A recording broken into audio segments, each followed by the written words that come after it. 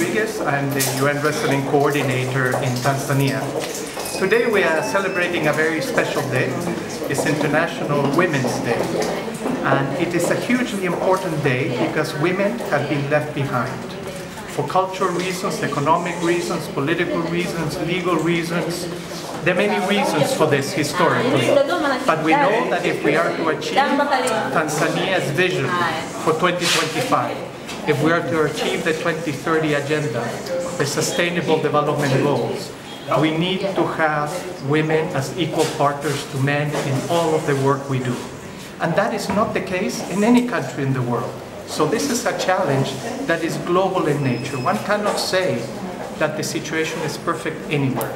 And we've learned over the last year in several very negative incidents that have taken place in some developed countries that women face challenges throughout the world. In Tanzania, we have a number of issues as well, and we really are focusing on promoting equality. We want to support the government to end harmful traditional practices, such as female genital mutilation. We also want to ensure that every girl can attend school, and that all women that are in the labor force have the same pay as their male counterparts. This will not happen overnight, it will take time. But the time to start and to continue to do it is now. This is why I often say wakati ni huu.